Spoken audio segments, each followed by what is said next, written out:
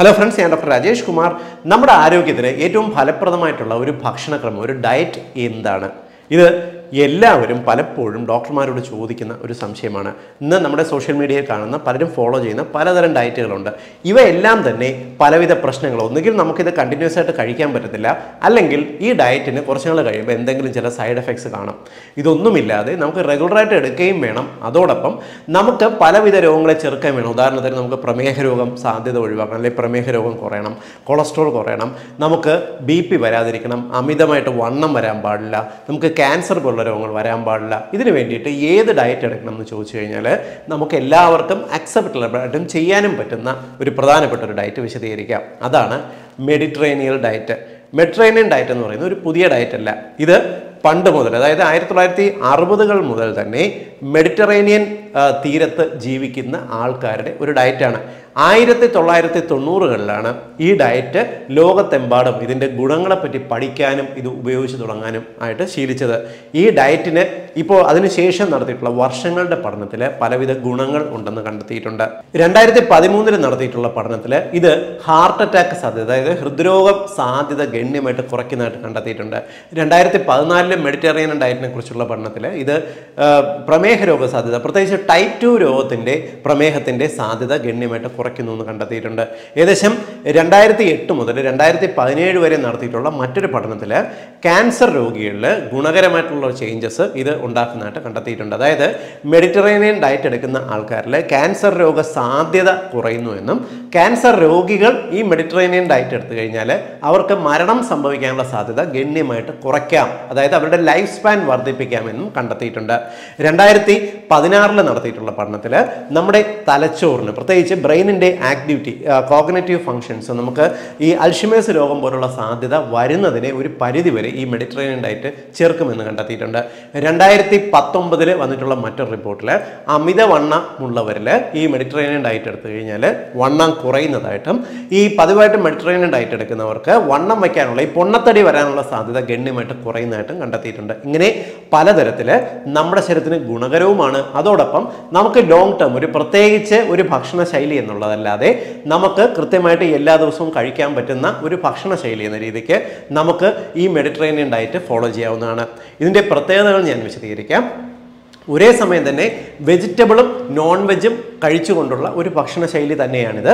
ഇവ കഴിക്കുന്നത് കൊണ്ട് ശരീരത്തിന് വലിയ സൈഡ് എഫക്ട്സ് ഇല്ല. കുട്ടികൾക്ക് ഉൾപ്പെടെ ഇത് ശീലിക്കുകയും ചെയ്യാം. ഈ ഒരു യൂറോപ്യൻ ഒരു ഭക്ഷണ ശൈലി ആയതുകൊണ്ട് തന്നെ ഒലിവ് ഓയിലാണ് ഇതിനകത്ത് ഉപയോഗിക്കുന്ന പ്രധാനപ്പെട്ട എണ്ണ. ഇത്തരത്തിൽ അവരുടെ മെഡിറ്ററേനിയൻ പ്യുവർ ഡയറ്റിംഗ് എടുത്തു കഴിഞ്ഞാൽ നമ്മൾ ഇന്ത്യക്കാർക്ക് പ്രത്യേകിച്ച് നമ്മൾ മലയാളികൾക്ക് അതിനകത്തുള്ള പല ഭക്ഷണങ്ങളും ഇവിടെ അവൈലബിൾ അല്ലാത്തൊരു സാഹചര്യം വരാം. ഉദാഹരണത്തിന് നമ്മൾ ഇത്രയും കാലം വെളിച്ചെണ്ണയിലോ അല്ലെങ്കിൽ സൺഫ്ലവർ ഓയിലോ ചേർത്തിരുന്ന ഭക്ഷണങ്ങൾ കഴിച്ച് ശീലിച്ച നമ്മളോട് നാളെ മുതൽ ഒലിവ് ഓയിൽ ചേർത്ത് ഭക്ഷണം പ്രിപ്പയർ ചെയ്യണമെന്ന് പറഞ്ഞാൽ അതിന്റെ രുചി പിടിക്കത്തില്ല. ഒലിവ് ഓയിൽ ചൂടാക്കി അല്ലെങ്കിൽ പാകം ചെയ്ത് നമുക്ക് ഉപയോഗിക്കാൻ പറ്റില്ല. കാരണം ഒലിവ് ഓയിൽ നമ്മൾ തിളപ്പിച്ച് അധികം അമിതമായിട്ട് പുകഞ്ഞിട്ടോ ചൂടാക്കിയിട്ടോ ഉപയോഗിക്കുന്നത് ആരോഗ്യത്തിന് കേടാണ്. അതുകൊണ്ട് തന്നെ നമുക്ക് ഇന്ത്യൻ ഭക്ഷണ ശൈലിയിൽ ഈ മെഡിറ്ററേനിയൻ ഡയറ്റ് എങ്ങനെ ഇൻകോർപ്പറേറ്റ് ചെയ്യാം? നമ്മുടെ ഈ ഡയറ്റിൽ എങ്ങനെ മെഡിറ്ററേനിയൻ ഡയറ്റ് മോഡിഫൈ ചെയ്യാമെന്ന് ഞാൻ വിശദീകരിക്കാം. ഈ മെഡിറ്ററേനിയൻ ഡയറ്റിന്റെ ഒരു പ്രത്യേകത നമുക്ക് എല്ലാ തരത്തിലുള്ള ഭക്ഷണങ്ങളും നമുക്ക് അത്യാവശ്യത്തിനും ഇതിനകത്ത് കഴിക്കാം എന്നുള്ളതാണ്. പക്ഷേ ശ്രദ്ധിക്കേണ്ടത് കഴിക്കേണ്ട ടൈമിങ്സും കഴിക്കേണ്ട ഇന്റർവെല്ലുകളും എത്ര തവണ നമുക്ക് ഒരു മാസം കഴിക്കാം എന്നുള്ളതും പ്രധാനമാണ്. നിങ്ങൾക്ക് ഇതിനകത്ത് മെയിനായിട്ട് നമ്മൾ ഉൾപ്പെടുത്തേണ്ടത് ഒന്ന് വെജിറ്റബിൾസ് ഫ്രൂട്ട്സും വെജിറ്റബിൾസും നമുക്ക് എന്തെല്ലാം അവൈലബിൾ ആയിട്ടുള്ള ഫ്രൂട്ട്സും വെജിറ്റബിൾസും ഉണ്ടോ ഇവ കഴിക്കാം. ധാന്യങ്ങൾ നമ്മൾ കഴിക്കേണ്ടത് ധാന്യങ്ങൾ എന്ന് പറഞ്ഞാൽ അരി ആഹാരമോ ഗോതമ്പോ എല്ലാം കഴിക്കുന്നത് ഇവയുടെ തവിടോട് കൂടിയുള്ള രൂപത്തിലാണ് ഉപയോഗിക്കേണ്ടത്. അതായത് വെള്ളയരിക്ക് പഴം തവിടരി ഗോതമ്പ് നമ്മുടെ മൈദയെല്ലാം ഉപയോഗിക്കുന്നതിന് പകരം ഗോതമ്പ് ഉപയോഗിക്കണം. മറ്റു ധാന്യങ്ങൾ നമുക്ക് മില്ലറ്റ്സ് ഇല്ലേ നമ്മുടെ നാട്ടിൽ കിട്ടുന്ന മില്ലറ്റ്സ് കൂരക് തിന ചാമ പഞ്ഞിപ്പുല്ല് പോലുള്ളവ എല്ലാം തന്നെ നമുക്ക് ഇതിനകത്ത് ഉൾപ്പെടുത്താം. അളവ് നമ്മൾ നിജപ്പെടുത്തണം എന്ന് മാത്രം. ഇതോടൊപ്പം നമുക്ക് നട്ട്സ് ഒരു പ്രധാന പങ്ക് വഹിക്കുന്നുണ്ട്. ഇതിനകത്ത് നമുക്ക് ഈ വെജിറ്റബിൾസ് എല്ലാ ദിവസവും നമുക്ക് കഴിക്കാവുന്നതാണ്. സാധാരണ നമ്മുടെ ഒരു ദിവസത്തെ ഭക്ഷണക്രമം എന്ന് പറയുന്നത് മൂന്ന് നേരമല്ലേ നമ്മൾ സാധാരണ കഴിക്കുന്നത്. അതിനെ നമുക്ക് നാല് നേരമോ അഞ്ച് നേരമോ ആയിട്ട് നമുക്ക് ഭക്ഷണം ഡിവൈഡ് ചെയ്ത് കഴിക്കാൻ സാധിക്കും. നിങ്ങൾ സാധാരണ എടുക്കുന്ന ഒരു പ്ലേറ്റിനകത്ത് ദിവസവും നിങ്ങൾക്ക് വെജിറ്റബിൾസ് കഴിക്കാം ദിവസവും ഫ്രൂട്ട്സ് കഴിക്കാം ദിവസവും ധാന്യങ്ങൾ നമുക്ക് ചോറ് അല്ലെങ്കിൽ അത്യാവശ്യം ഗോതമ്പ് ചേർത്ത ഭക്ഷണങ്ങളോ ദിവസവും കഴിക്കാം. നട്ട്സ് നമുക്ക് ആഴ്ചയിൽ മൂന്ന് ദിവസം കഴിക്കാം. നോൺ വെജിനകത്ത് നിങ്ങൾ റെഡ് മീറ്റ് എന്ന് പറയുന്നത് പരമാവധി ഒഴിവാക്കി നിർത്തണം. റെഡ് മീറ്റ് എന്ന് പറഞ്ഞാൽ ബീഫ് മട്ടൺ പോർക്ക് താറാവ് പോലുള്ളവ പരമാവധി ഒഴിവാക്കി നിർത്തണം. മാസത്തിൽ ഒരു തവണ മാത്രം കഴിക്കാവുന്നതാണ്. അതും ലിമിറ്റഡ് ക്വാണ്ടിറ്റി പരമാവധി നൂറ് മുതൽ നൂറ്റൻപത് ഗ്രാം വരെ മാസത്തിൽ ഒരു തവണ കഴിക്കാം. അതല്ലാതെ നമ്മുടെ ശരീരത്തിന് ആവശ്യമുള്ള നോൺ വെജ് എന്ന് പറയുന്നത് മുട്ട കഴിക്കാം മീൻ കഴിക്കാം ചിക്കൻ കഴിക്കാം. ചിക്കൻ നിങ്ങൾ ആഴ്ചയിൽ മൂന്ന് ദിവസം അല്ലെങ്കിൽ നാല് ദിവസം ചിക്കനും മീനും മൂന്ന് ദിവസം അല്ലെങ്കിൽ നാല് ദിവസം കഴിക്കാവുന്നതാണ്. മുട്ട നിങ്ങൾക്ക് ആഴ്ചയിൽ അഞ്ച് ദിവസം അല്ലെങ്കിൽ ആറ് ദിവസം ഒരു മുട്ട വെച്ച് കഴിക്കാം. മുട്ട എന്ന് പറയുമ്പോൾ ഫുൾ മുട്ട. മുട്ടയുടെ മഞ്ഞയും വെള്ളയും നിങ്ങൾക്ക് കഴിക്കാവുന്നതാണ്. നിങ്ങൾ കഴിക്കുന്ന ദിവസവും കഴിക്കുന്ന ഈ അരി ആഹാരവും പച്ചക്കറികളും ഫ്രൂട്ട്സും കഴിക്കുന്നതിന്റെ ക്വാണ്ടിറ്റി പ്രധാനമാണ്. നിങ്ങൾ ഒരു കപ്പ് നമ്മൾ സാധാരണ ഒരു ബൗൾ എടുക്കത്തില്ലേ? ഒരു ബൗൾ ഫ്രൂട്ട്സ് ഒരു ബൗൾ വെജിറ്റബിൾസ് അതിന്റെ എത്ര അളവെടുക്കുന്നോ അതിന്റെ പകുതിയാണ് ധാന്യങ്ങൾ എടുക്കേണ്ടത്. അതായത് നിങ്ങൾ ചോറായിക്കോട്ടെ ഗോതമ്പിന്റെ ഭക്ഷണങ്ങളായിക്കോട്ടെ എത്ര അളവ് ഫ്രൂട്ട്സും വെജിറ്റബിൾസും എടുക്കുന്നു? അതിന്റെ പകുതി അളവ് അതായത് ഒരു ബൗൾ നമ്മൾ പച്ചക്കറി എടുക്കുകയാണെങ്കിൽ അര ബൗൾ നമുക്ക് ചോറെടുക്കാം. അതേപോലെ തന്നെ എത്ര അളവ് ചോറെടുക്കുന്നോ അത്രയും അളവ് പയറുവർഗങ്ങൾ നമുക്ക് ഉൾപ്പെടുത്താവുന്നതാണ്. പയറുവർഗം എന്ന് പറഞ്ഞാൽ ചെറുപയർ കടല പരിപ്പ് എന്നിവ. ചോറിന്റെ അതേ അളവ് ഉൾപ്പെടുത്താം. നമ്മൾ സാധാരണ ഗതിയിൽ ചോറ് ഉച്ചയ്ക്ക് ഒരു നേരമല്ലേ കഴിക്കുന്നത്? അല്ലെങ്കിൽ ധാന്യങ്ങൾ ഒരു നേരം കഴിക്കുക. അതല്ല. നമുക്ക് വേണമെങ്കിൽ മൂന്ന് നേരമോ നാല് നേരമോ ഈ പറഞ്ഞ കോമ്പിനേഷനിൽ കഴിക്കാവുന്നതാണ്. ഇതിന്റെ ഗുണം എന്തെന്ന് പറഞ്ഞാൽ നമ്മുടെ ശരീരത്തിലേക്ക് കൂടുതൽ എത്തുന്നത് പച്ചക്കറികളും ഫ്രൂട്ട്സ് ആയിരിക്കും എന്നുള്ളതാണ് പ്രധാനം. ഇതാണ് മെഡിറ്ററേനിയൻ ഡയറ്റിന്റെ ബേസിക് ആയിട്ടുള്ള തിങ് ഉപ്പിന്റെ അളവ് പരമാവധി കുറച്ച് ഉപയോഗിക്കുകയാണ് ഉപ്പിന് പകരം നമുക്ക് രുചിക്ക് വേണ്ടിയിട്ട് അത്യാവശ്യം മസാലകൾ നമ്മുടെ ഇന്ത്യൻ മസാലകളില്ലേ? മുളക് മല്ലി മഞ്ഞൾ കറുകപ്പെട്ട ഗ്രാമ്പു ഏലക്ക പോലുള്ളവ ഉപയോഗിച്ചുണ്ടാക്കുന്ന മസാലക്കൂട്ടിൽ നമുക്ക് രുചി ആവശ്യത്തിന് ഫ്ലേവർ ക്രിയേറ്റ് ചെയ്യാം. എന്നിട്ട് ഉപ്പ് അതനുസരിച്ച് കുറച്ച് ഉപയോഗിക്കുക. സാധാരണഗതിയിൽ മെഡിറ്ററേനിയൻ ഡയറ്റിനകത്ത് പാകം ചെയ്യാനും അത്യാവശ്യം സാലഡ്സിലെല്ലാം ടോപ്പിംഗ്സ് ആയിട്ട് പ്യുവർ ഒലിവ് ഓയിലാണ് പറയുന്നത്. അതായത് അൺറിഫൈൻഡ് ആയിട്ടുള്ള ഒലിവ് ഓയിലാണ് ഉപയോഗിക്കാൻ പറയുന്നത്. എന്നാൽ നമുക്കിവിടെ ഇന്ത്യയിൽ അത് അത്രയും അവൈലബിൾ അല്ല. ഇവിടെ കിട്ടുന്ന ഒലിവ് ഓയിൽ കൂടുതലും ഡ്യൂപ്ലിക്കേറ്റുമാണ് അതുകൊണ്ട് നമുക്കിവിടെ റിഫൈൻ ചെയ്യാത്ത മറ്റു എണ്ണകൾ അതായത് ഒന്നുകിൽ നിങ്ങൾക്ക് ഒലിവ് ഓയിൽ പ്യുവർ കിട്ടുമെങ്കിൽ ഉപയോഗിക്കാം അതല്ലെങ്കിൽ കപ്പലണ്ടി എണ്ണ വെളിച്ചെണ്ണ വെളിച്ചെണ്ണ എന്ന് പറയുന്ന പ്രോസസ്സ് ചെയ്യാത്ത അൺറിഫൈൻഡ് ആയിട്ടുള്ള ഈ വെളിച്ചെണ്ണ ഉപയോഗിക്കുക. ഈ അൺറിഫൈൻഡ് എന്ന് എടുത്തു പറയാൻ കാരണം എന്തെന്നറിയോ പലപ്പോഴും നമുക്ക് നമ്മുടെ നാട്ടിൽ കിട്ടുന്ന ഈ പാക്കറ്റ് എണ്ണകൾ കൂടുതൽ കാലം ഇരിക്കുന്നതിന് വേണ്ടി റിഫൈൻഡ് ആയിട്ടുള്ളത് ഉപയോഗിക്കും. എന്നാൽ റിഫൈൻഡ് ഫോം ഓയിൽസ് നമ്മുടെ ശരീരത്തിന് അത്ര ഗുണകരമല്ല. നമ്മൾ വാങ്ങിക്കഴിഞ്ഞാൽ അതേ നാൾ സൂക്ഷിക്കാൻ സാധിക്കാത്ത തരത്തിലുള്ള എണ്ണകൾ. എണ്ണകൾ വളരെ പെട്ടെന്ന് രുചി വ്യത്യാസവും മണം വ്യത്യാസവും നമ്മൾ കനച്ചു പോകുക എന്നൊക്കെ പറയും. അത്തരത്തിലുള്ള എണ്ണകളാണ് ശരീരത്തിന് ഏറ്റവും നല്ലത്. അവ നമുക്ക് ഈ കപ്പലന്റെ എണ്ണ ഉപയോഗിക്കാം. ഇല്ലെങ്കിൽ വെളിച്ചെണ്ണ. വെളിച്ചെണ്ണ നിങ്ങൾക്ക് വെർജിൻ കോക്കനട്ട് ഓയിൽ നമ്മൾ തേങ്ങ വെന്ത വെളിച്ചെണ്ണ അല്ലെങ്കിൽ ഉരുക്ക് വെളിച്ചെണ്ണ എന്നൊക്കെ പറയത്തില്ലേ? വെർജിൻ കോക്കനട്ട് ഓയിൽ ഉപയോഗിക്കാൻ പറ്റിയാൽ വളരെ നല്ലത്. ഇത് നിങ്ങൾക്ക് എണ്ണകൾ നിങ്ങൾക്ക് ഒരു ദിവസം മൂന്ന് മുതൽ നാല് ടീസ്പൂൺ എണ്ണകൾ വരെ ഒരു ദിവസം ഫുഡിൽ ചേർത്ത് ഉപയോഗിക്കാവുന്നതാണ്. പാലിന്റെ ഉപയോഗം നിങ്ങൾ ദിവസം ഉപയോഗിക്കാൻ പാടില്ല. ആഴ്ചയിൽ മൂന്ന് അല്ലെങ്കിൽ നാല് ദിവസം പാൽ ഈ മെഡിറ്ററേനിയൻ ഡയറ്റിൽ ഉപയോഗിക്കാവുന്നതാണ്.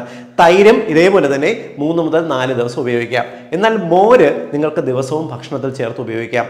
തൈരും മോരും തമ്മിലുള്ള വ്യത്യാസം ചോദിക്കുമ്പോൾ പലരും വിചാരിക്കുന്നത് നമ്മളൊരു അര ഗ്ലാസ് തൈര് എടുക്കുന്നതിന് തുല്യമാണ് നമുക്കൊരു മൂന്ന് ഗ്ലാസ് മോരെന്ന് പറയുന്നത്. അതായത് അര ഗ്ലാസ് തൈരിനകത്ത് നിറയെ വെള്ളം ചേർത്ത് ലൂസ് ഫോമിലുള്ള ഇതിനകത്ത് നമ്മുടെ ശരീരത്തിന് വേണ്ട പ്രോബയോട്ടിക്കുകൾ ഗുണകരമായിട്ടുള്ള ബാക്ടീരിയകൾ കൂടുതലുണ്ടാവും. കൊഴുപ്പിന്റെ അളവ് വളരെ കുറവായിരിക്കും. അതുകൊണ്ടാണ് മോര് നിങ്ങൾക്ക് ദിവസവും ഉപയോഗിക്കാം എന്ന് പറയുന്നത്. ചിക്കനും മീനും നമുക്ക് ആഴ്ചയിൽ മൂന്നോ നാലോ ദിവസം ഉപയോഗിക്കാം. ഞാൻ നേരത്തെ പറഞ്ഞല്ലോ നൂറ് മുതൽ നൂറ്റി അൻപത് ഗ്രാം വരെ ഉപയോഗിക്കാം. എന്നാൽ ഷെൽ ഫിഷസ് അതായത് ഞണ്ട് കൊഞ്ച് കണവ ചിപ്പി കക്ക പോലുള്ള ഷെൽ ഫിഷുകൾ നിങ്ങൾ റെഡ് മീറ്റ് കഴിക്കുന്നത് പോലെ ആഴ്ചയിൽ സോറി മാസത്തിൽ ഒരു തവണ കഴിക്കാവുന്നതാണ്.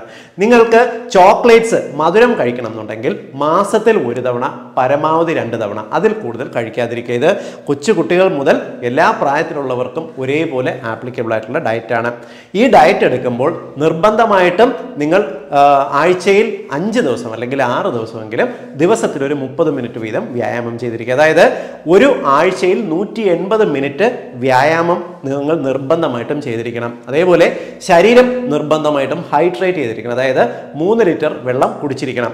ഈ ഡയറ്റ് കേൾക്കുമ്പോൾ പലരും വിചാരിക്കുന്നുണ്ടാവും ഡോക്ടർ ഇതിനു മുമ്പ് തന്നെ ഇതുപോലുള്ള ഡയറ്റുകൾ പറഞ്ഞിട്ടില്ല. ഈ ഇതിലുള്ള പല കാര്യങ്ങളും നേരത്തെ പറഞ്ഞിട്ടില്ല ശരിയാണ്. ഈ മെഡിറ്ററേനിയൻ ഡയറ്റ് എന്ന് പറയുന്നത് ലോകത്തുള്ള എല്ലാ ഡയറ്റുകളിലും എല്ലാ ആരോഗ്യകരമായ മാർഗങ്ങളിൽ നിന്നും ഉരുത്തിരിഞ്ഞു വന്ന ശരീരത്തിന് വളരെ ഗുണകരമായ പലവിധ രോഗങ്ങളെയും ചെറുക്കാൻ സാധിക്കുന്ന ഒരു ഡയറ്റാണ് അതുകൊണ്ടാണ് മെഡിറ്ററേനിയൻ ഡയറ്റ് ലോകം മുഴുവൻ ഇത്രയും ഗുണങ്ങളുണ്ടെന്ന് കണ്ടെത്തിയതും അംഗീകരിക്കപ്പെട്ടതും. ഈ ഡയറ്റ് എടുക്കുമ്പോൾ നിങ്ങൾ കഴിയുന്നത്ര ഒഴിവാക്കേണ്ട അല്ലെങ്കിൽ വളരെയധികം കുറച്ച് കഴിക്കേണ്ട ചില ഭക്ഷണങ്ങളുണ്ട്. ഒന്ന് പഞ്ചസാരയുടെ ഉപയോഗമാണ്. പഞ്ചസാര അമിതമായിട്ട് ചേർത്തിട്ടുള്ള ഭക്ഷണങ്ങൾ നിങ്ങൾ ഇപ്പോൾ ബേക്കറി സാധനങ്ങൾ ഇല്ലെങ്കിൽ മധുര പലഹാരങ്ങൾ കോളകൾ ഇവയുടെ ഉപയോഗം പരമാവധി ഒഴിവാക്കുക. ഇല്ലെങ്കിൽ മാസത്തിൽ ഒരു തവണ മാത്രം കഴിക്കാവുന്നതാണ്. ഐസ്ക്രീം പോലെ മധുരത്തിന്റെയും പാലിന്റെയും കോമ്പിനേഷൻസ് അമിതമായിട്ട് ട്രാൻസ്ഫാറ്റ് ചേർത്തിട്ടുള്ള കേക്കുകൾ പേസ്ട്രികൾ ഇവയെല്ലാം മാസത്തിൽ ഒരു തവണ മാത്രം കഴിക്കുക. റെഡ് മീറ്റ് നമ്മൾ മാസത്തിൽ ഒരു തവണ കഴിക്കാൻ പറഞ്ഞില്ല. അതുപോലെ മാസത്തിൽ ഒരു തവണ കഴിക്കാം. മൈദ കൊണ്ടുള്ള ഭക്ഷണങ്ങൾ അതായത് റിഫൈൻഡ് ഫ്ലോർ കൊണ്ടുള്ള ഭക്ഷണങ്ങൾ മാസത്തിൽ ഒരു തവണ കഴിക്കാം. റിഫൈൻഡ് ഫ്ലോർ കൊണ്ടെന്ന് പറയുമ്പോൾ എല്ലാവരുടെയും മനസ്സിൽ വരുന്നത് മൈദ മാത്രമാണ്. എന്നാൽ നമ്മൾ അരി നല്ല വെള്ള അരി പ്രോസസ്സ് ചെയ്ത് പുളിപ്പിച്ചുണ്ടാക്കുന്ന ഇഡലി ദോശ പുട്ട് ഇടിയപ്പം അപ്പം ഇവയെല്ലാം തന്നെ റിഫൈൻഡ് ഫ്ലോർ കൊണ്ട് ഉണ്ടാക്കുന്ന ഭക്ഷണങ്ങളാണ് എന്നുള്ളത് നമ്മൾ മലയാളികൾ സൗകര്യപൂർവം മറക്കും. അതുകൊണ്ട് മെഡിറ്ററേനിയൻ ഡയറ്റ് എടുക്കുന്നവർ ഇത്തരം ആഹാര രീതികൾ അതായത് ആരോഗ്യം വേണമെന്ന് ആഗ്രഹിക്കുന്നവർ ഞാൻ ഈ പറഞ്ഞ തരത്തിലുള്ള ഈ മൈദ ഒഴിവാക്കിയാൽ മാത്രം പോരാ ഇഡലിയും ദോശയും പുട്ടും ഇടിയപ്പവും അപ്പവും എല്ലാം തന്നെ വളരെ കുറച്ച്. അതായത് മാസത്തിൽ ഒന്നോ രണ്ടോ തവണ മാത്രം എടുത്തുകൊണ്ട് തവിടുള്ള ഭക്ഷണങ്ങൾ കൂടുതലും നമ്മുടെ ഫുഡിൽ ഉൾപ്പെടുത്തി മുന്നോട്ട് പോവുക. ഉദാഹരണത്തിന് നിങ്ങൾ ഇപ്പോൾ രാവിലെയുള്ള ഭക്ഷണം കഴിക്കണമെന്നുണ്ടെങ്കിൽ നിങ്ങൾക്ക് ഒരു ചപ്പാത്തി എടുക്കാം. അതോടൊപ്പം തന്നെ ചപ്പാത്തി ഗോതമ്പ് കൊണ്ടാണ് ഉണ്ടാക്കുന്നത്. അതോടൊപ്പം നിങ്ങൾക്ക് ഒരു ബൗളിൽ അതായത് ഒരു ബൗളിൽ പയറെടുക്കാം അതിന്റെ ഇരട്ടി അളവ് നിങ്ങൾ എത്ര പയറാണോ എടുത്തത് അതിന്റെ ഇരട്ടി അളവ് നിങ്ങൾക്ക് പച്ചക്കറികളും കഴിക്കാം. അതായത് പച്ചക്കറികൾ കറി വെച്ച് നിങ്ങൾക്ക് കഴിക്കാം. അത് ക്യാപ്സിക്കം ആയിക്കോട്ടെ ഇല്ലെങ്കിൽ ബ്രോക്കോളി പോലുള്ള നമുക്ക് കറികളായിക്കോട്ടെ പല തരത്തിലുള്ള പല കളറിലുള്ള പച്ചക്കറികൾ ഉപയോഗിക്കുന്നതായിരിക്കും നല്ലത്. അവയും കഴിക്കുക അതോടൊപ്പം കുറച്ച് ഫ്രൂട്ട്സ്. നിങ്ങൾ എത്ര പച്ചക്കറി എടുത്തോ അത്രയും ഫ്രൂട്ട്സ് എടുക്കുക ബ്രേക്ക്ഫാസ്റ്റ് ആയി കഴിഞ്ഞു. ഉച്ചയ്ക്ക് വേണമെങ്കിൽ മത്സ്യം ഇതേപോലെ എടുക്കാവുന്നതാണ്. അതോടൊപ്പം അരി ആഹാരം എടുക്കാം. ഇനി അതല്ല പതിനൊന്ന് മണിക്ക് വേണമെങ്കിൽ നിങ്ങൾക്ക് ഇതുപോലെ എടുക്കാം. നട്ട്സ് ഞാൻ പറഞ്ഞല്ലോ മെഡിറ്ററേനിയൻ ഡയറ്റിന്റെ ഒരു പ്രധാന ഘടകമാണ്. അത് ഒരു പിടി ഏകദേശം നമ്മുടെ കൈപ്പിടിയിൽ എത്ര ഒതുങ്ങും അത്രയും നിങ്ങൾക്ക് ഒരു ദിവസം കഴിക്കാവുന്നതാണ്. നട്ട്സിനകത്ത് നമുക്ക് ഏറ്റവും ഗുണകരം എന്ന് പറയുന്നത് അത്യാവശ്യം ബദാം വാൽനട്ട് കപ്പലണ്ടി അതേപോലെ നമുക്ക് നാട്ടിൽ അവൈലബിൾ ആയിട്ടുള്ള ഈ നട്ട്സ് വിഭാഗം എല്ലാം തന്നെ നമുക്ക് ദിവസവും ഒരു പിടി നമുക്ക് ഒരു ദിവസം കഴിക്കാം. ഇത് പതിനൊന്ന് മണിക്ക് കഴിക്കാം അല്ലെങ്കിൽ നാല് മണിക്ക് കഴിക്കാം അല്ലെങ്കിൽ രാത്രി വേണമെങ്കിൽ നിങ്ങൾക്ക് ഒരു നേരത്തെ ഭക്ഷണമാക്കാം. ഇങ്ങനെ ഒരു കൺട്രോൾഡ് ആയിട്ടുള്ള എന്നാൽ എല്ലാ ഭക്ഷണങ്ങളും കഴിക്കാൻ പറ്റുന്ന എത്ര ഇന്റർവെല്ലുകളിൽ കഴിക്കണം എന്നുള്ളതാണ് പ്രധാനം. ഈ ഒരു രീതിക്ക് കഴിച്ചു പോകുന്ന ആരോഗ്യകരമായിട്ടുള്ള ഒരു ഡയറ്റാണ് മെഡിറ്ററേനിയൻ ഡയറ്റ് നിങ്ങൾക്ക് ഏതെങ്കിലും രോഗമുണ്ടെങ്കിൽ ഡെഫിനറ്റ്ലി നിങ്ങൾക്ക് അതോടൊപ്പം ഈ ഡയറ്റ് എടുക്കാവുന്നതാണ്.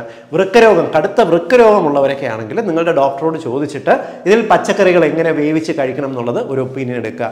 ബാക്കിയുള്ളവർക്ക് അത്യാവശ്യം ശരീരത്തിലെ ആന്തരികങ്ങൾക്ക് പ്രോബ്ലം ഇല്ല എന്നുണ്ടെങ്കിൽ നിങ്ങൾക്ക് ഡെഫിനറ്റ്ലി ഞാൻ ഈ പറഞ്ഞ രീതിക്ക് ഡയറ്റ് ഫോളോ ചെയ്ത് പോകാവുന്നതാണ്.